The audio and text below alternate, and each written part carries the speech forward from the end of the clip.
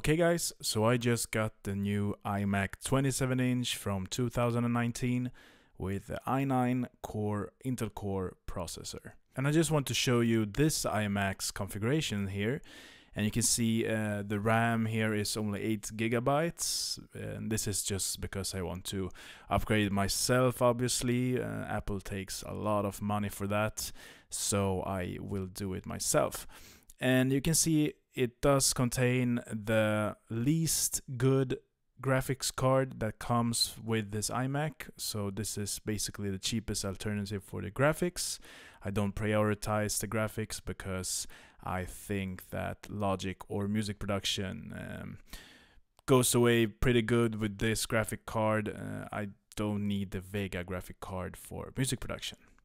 Okay, so as you can see, I have the i9 processor and uh, I just uh, basically run a benchmark, a Logic Pro benchmark. Uh, you can find it on the website here. They're going to show a list in the description of this video. So as you can see, uh, this test starts out with 50 tracks, so let's play it.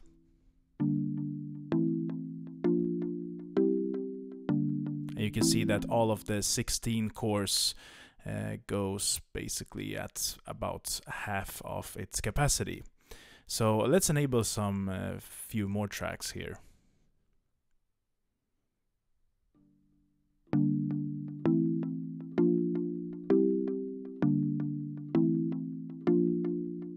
So it goes along pretty good here with 63 tracks. Let's try, let's say 80 tracks here.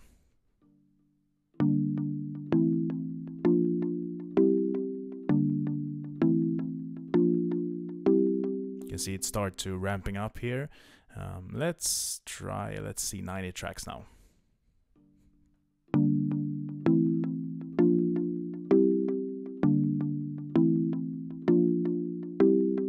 Still does pretty good. Let's enable it to 100.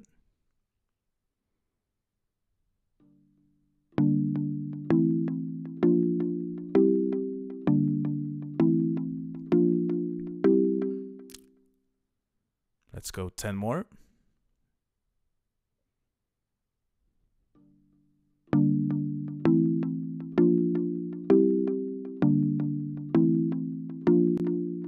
So now you can see the cores are uh, getting at full capacity, but it still plays it as it should. And Logic need to kind of learn how uh, your project works or the plugins itself. So sometimes you have to play and stop and play and stop to make Logic more efficient uh, for between all of these uh, 16 cores. So let's try even more tracks here. Let's go to 120.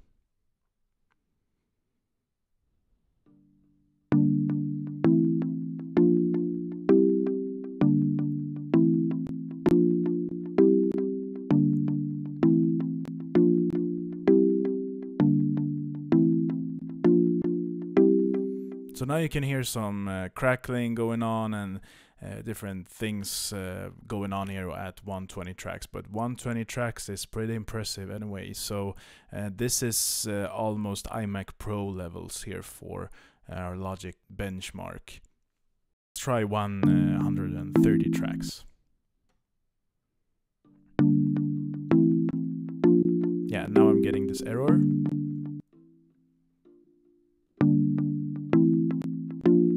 It still seems to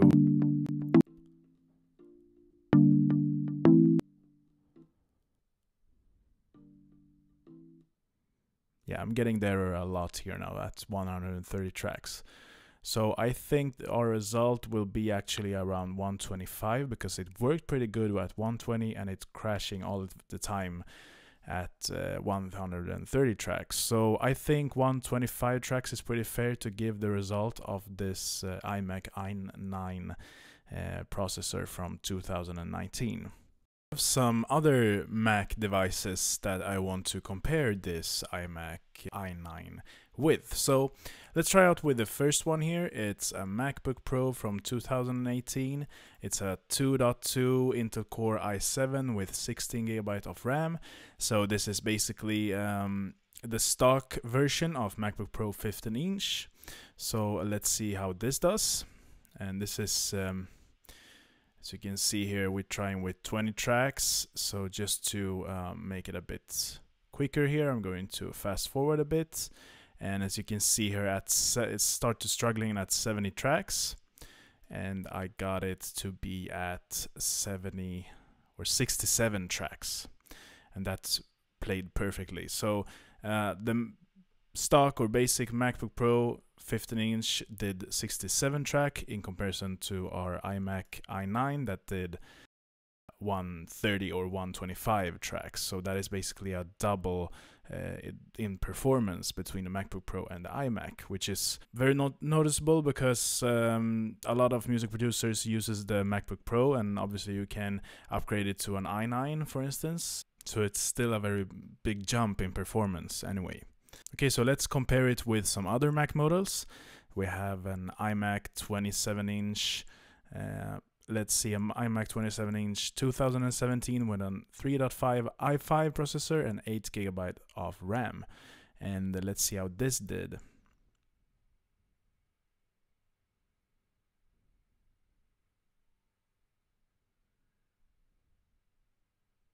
So as you can see, it's oh, it only has four cores, and at 20 tracks, it's already struggling a bit. And at already at 30 tracks, it starts to to crash on me here.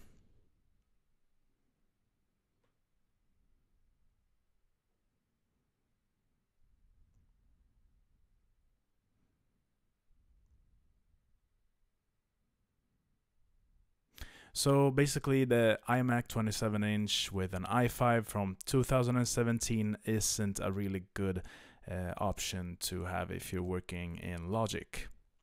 Let's try it out with uh, other Mac models and this is the MacBook Pro from 2016 and an i5 with 8 gigs of RAM.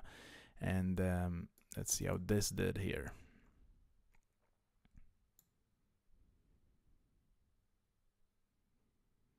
So at 20 tracks we start already to get some system overloads.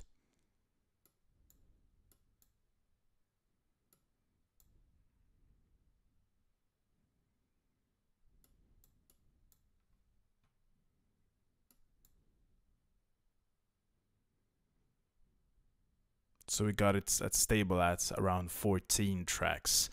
So uh, 14, 15 tracks, somewhere around there.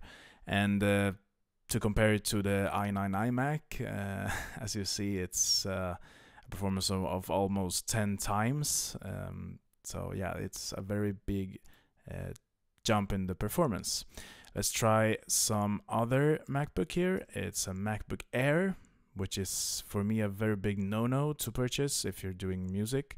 And you can see this is the latest model from 2018. It's with the i5 processor with 8 gigs of RAM. And let's see how this does. So you can see at 20 tracks we can't play a thing. So we have to back it up a lot. You can see at 9 tracks it's getting system overloads.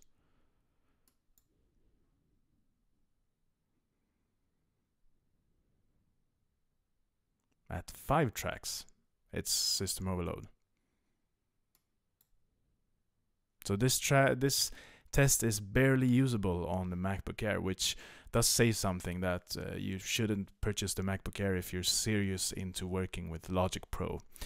And um, yeah, I mean, the iMac i9 is the best purchase out there as of now. If you're not looking at the iMac Pro, obviously, because that is a whole, whole nother level of, of computing and processing power. But still, the iMac 27 with the i9 processor is a very very good purchase if you're working in Logic and also the Mac Mini with 6 core processors is very very great. I don't have it as of now in this video to show you unfortunately but uh, I have tested it out myself and it shows similar results to this iMac i9 processor. Um, the i9 is still better though, but uh, yeah, it's it's a very good machine to have as well. Is you if you're working with a desktop environment.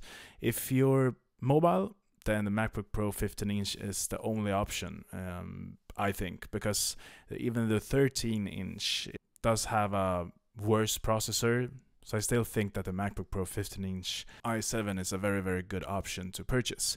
And um, in all honesty here, we shouldn't go with the i9 for the MacBook Pro because it does some serious thermal throttling. So that means that as soon as the processor goes hot, it lowers the re resources for the CPU. So it basically gets slower as hot as it gets. And you don't have that problem with the i7 processor in uh, MacBook Pro. Okay guys, so that is it for this video. See you in the next one.